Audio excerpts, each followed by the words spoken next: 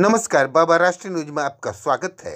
अब चलते हैं खबरों की दुनिया में। बराकर आसनसोल नगर निगम चुनाव में कुल्टी के वार्ड छाछठ के तृणमूल प्रत्याशी अशोक पासवान के समर्थन में रविवार को तृणमूल के जिला चेयरमैन उज्जवल चटर्जी आईएनटीयूसी के जिला अध्यक्ष, निगम के पूर्व प्रशासक बोर्ड के सदस्य अभिजीत घटक ने मनबरिया पार्टी कार्यालय का उद्घाटन किया। इस दौरान वार्ड संख्या छाछठ के रामनगर सहित बलतोड़िया में पाँच से ज़्यादा भाजपा एवं अन्य दल के कार्यकर्ताओं ने तृणमूल प्रत्याशी अशोक पासवान के समर्थन में तृणमूल का झंडा थामा।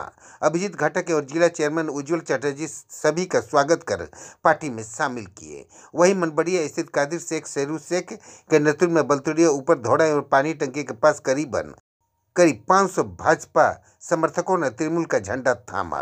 अभिमन्यु कुमार बिंद, संजय पासवान, विजय पासवान, कालीचरण बिंद, किशोर कुमार, बेलदार, राजू पासी, राम प्यारे, हरजन शिव कुमार केवट सूरज बेलदार हीरा केवट धर्मा पासी दिलीप रजक सुबोध मल्ला शामिल हुए।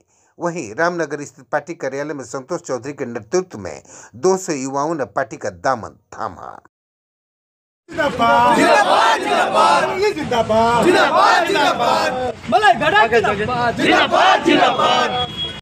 इसी तरह के लगातार खबरों को देखते रहने के लिए बाबा राष्ट्रीय चैनल को लाइक करें शेयर करें सब्सक्राइब और लाइक करना न भूलें।